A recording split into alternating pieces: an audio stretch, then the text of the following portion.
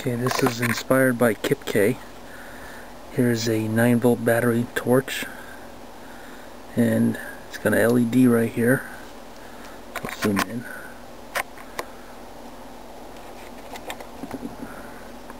It's got an LED right there.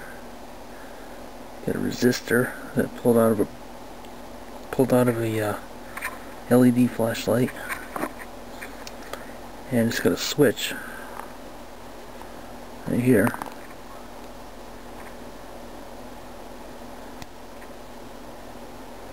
I pulled out out of a out of an old VCR,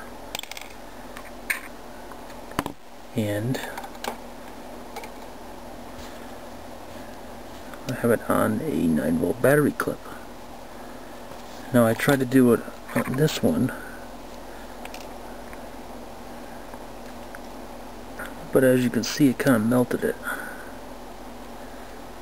So that was out. This is off of, uh, well, you know, you go to the Dollar Tree and you go to the uh, electronic section and you got these 9 volt, these, uh, these lights you put on a regular 9 volt battery. Like so, and it's got a big light. comes out to here.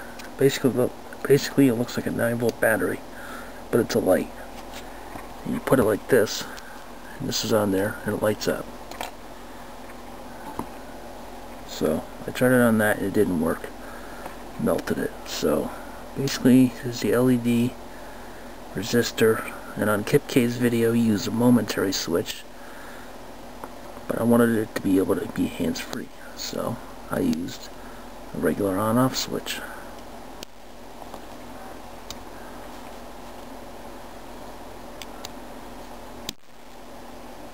There you go. And it works.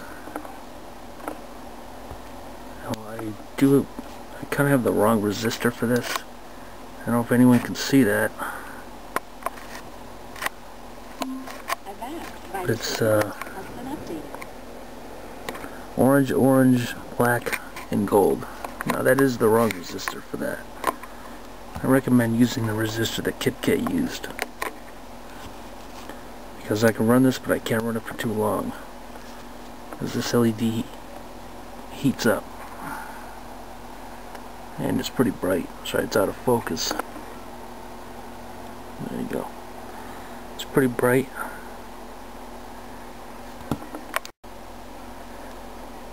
So thanks for watching